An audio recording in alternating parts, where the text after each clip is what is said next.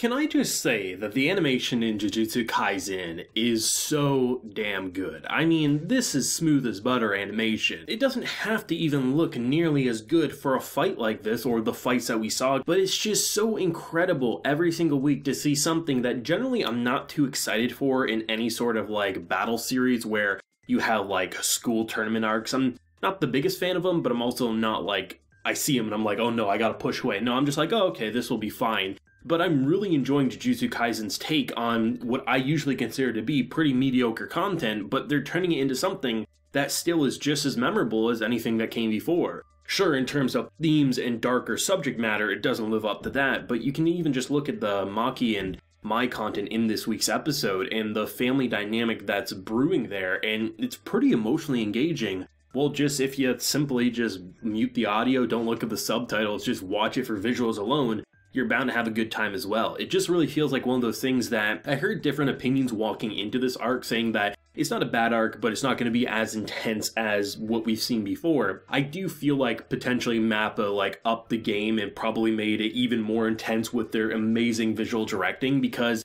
this is one of those things that doesn't feel like, oh, you're just excited to move past it. It feels like, oh, we're getting characterization for characters like Mai and Maki but then we're also getting all these amazing fight scenes that are incredibly memorable. Just the idea of how they're continuing to find new ways to up the ante in terms of how you can use these abilities in order to counter or just completely destroy your opponent. You have a witch fight here, which you're getting some great dialogue in there as well, just saying like why would you want to be following and trying to protect someone who's a curse when there's all these people who are trying to just to survive and she's talking all this BS about females and what they have to do and how much hard it is for them to survive. And you're kind of seeing like if you're put from her perspective, what she's saying makes sense given the circumstances. But then you have Nobara come in saying, you know what, when I dress up, I feel hot as shit, but when I'm a badass, I feel strong as shit, as she is pretty much destroying everything. The idea of using kind of like voodoo dolls, taking a bristle from the broom in order to completely crash and burn, and the fact that she actually took the initiative to say, hey, you know, if I use my hammer,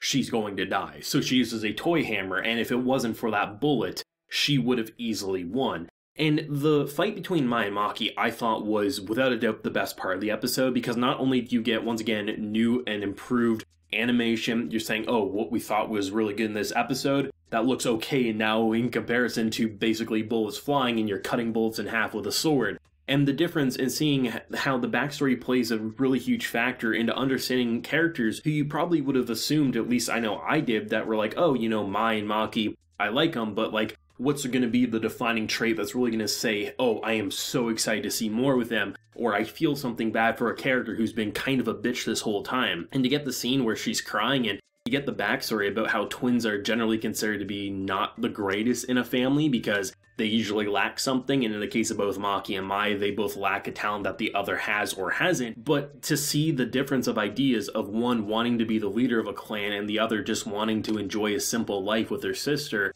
and feeling how like she's been kind of ripped away from the life that she wants, and that kind of has turned her quite bitter because you understand from her perspective, right? You know, she just wanted to have a simple life with her sister, but her sister wanted to do something else. None of what either of them said is incorrect, or I think you could say is horrible of what they're doing. The idea of wanting to live a simple life where you don't have to put your life in danger, completely justifiable. Most people wouldn't want to do that. But then there's those who do have a disadvantage, who do want to be something extraordinary and want to put their life on the line. They don't want to drag their sister into it, but at the same time, they have to do what they believe in. And that's what makes that fight so great is that rather than just seeing like, oh, you're looking at a witch getting attacked by a hammer, or you're looking at a sword going up against a revolver, what you're actually seeing are characters believing in what they're doing, feeling like they're fighting enemies or they're, they're trying to kill a curse, and that's what people do. Or in the case of two sisters, one feeling like she has to prove herself, which we learn in this episode. If she doesn't prove herself during this tournament, it's pretty much impossible for her to rise up the ranks because the family's already kind of disowned her, so to speak. So this is her one and only shot by the looks of it. Where you have another just saying, like, stop, I just want to be safe and I don't want to have to do this anymore. It's so interesting to see how they're able to really land that emotional swing with characters who I didn't hate, I didn't love. I was just like, they are solid characters but if you were to ask me what is the thing that I love the most, it's my boy Yuji. It's all the other characters in this crazy cursed finger story. But I love that every character gets a moment to shine. Panda last week, Panda, come on.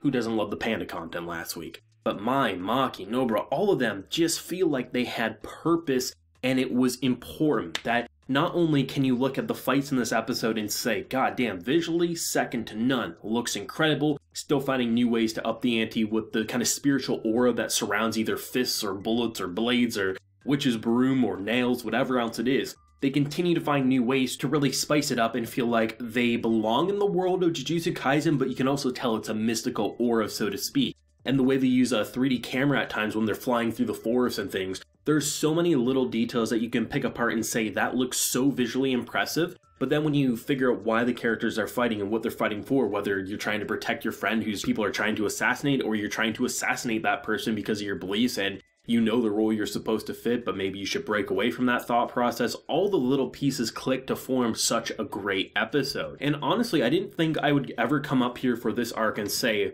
I hope it doesn't end. And I'm not saying like I want it to last forever, but it's not one of those things that I'm rushing to the end either. School tournament arcs just generally are okay to good at best for me. That's just how I feel. They kind of feel like the thing where, like, yeah, they're important because you're trying to progress past a certain obstacle or you need to train, but you usually want to see the next main plot point progress but seeing the characters and getting the chance because this really feels like the perfect opportunity to learn about those side characters who you're like, oh, it's a talking panda, don't need any more. Then you get that clarification, clarification between sisters and everything like that. It feels like they're obviously progressing the story, but they're also giving time to flesh out and characterize these characters who you might have thought was a trope or a personality at best, but actually are becoming a person afraid of what they have to do or believe that this is the only way. I love that about Jujutsu Kaisen is that, yeah, visually, its fights, its power system, it's incredible. It hooks us in for that alone but it's the characters that keep it together and the story that surrounds them that turns it into such a compelling masterpiece that you just want to see multiple seasons of. Not to mention, I mean, the OST, they really found a way, I think. It's a song we've heard before, but during a lot of the action, there was like a remix or something of one of the soundtracks we've heard. It's just really interesting because generally, like electronic or non i would say because kind of like my go-to anime music for like background music is either like soft piano scores or like really rock anthems but the way they're able to incorporate more electronical pieces, it just really, I think, matches what we're seeing because when you see like glowing blue flames and things like that, it just feels like that's the perfect type of score to use. And the fact that this is a show that's able to use soundtracks that generally I'm not the biggest fan of outside of anime, but the way they're able to incorporate for what we're seeing, it really feels like it knows what it's doing 10 times over, and you never feel like, oh, I wish they would have used this soundtrack here, or I wish they would have cleaned up the animation here, or I wish we would have focused on this character over here. No, it just kind of like builds into this perfect harmony and just always has you craving more, which is all you can really ask for in a show like this, and I don't think many people would deny that fact. Seriously, I just always find new things to appreciate about this show. And I honestly never want an episode to end. It just always hooks me in. It makes me crave the next episode, and it's one of the shows that I always look forward to the most every single week. I'd love to know everyone's thoughts though on this week's episode. What did you think of the sister storyline, which I would say is probably the best part of the episode? But I mean, that smooth as butter animation is definitely a close second. Let me know whatever you're feeling though down below. If you enjoyed the video, leave a like, share your support, and hit that subscribe button if you happy new around here. So until next time, everyone, please take care and have a good one.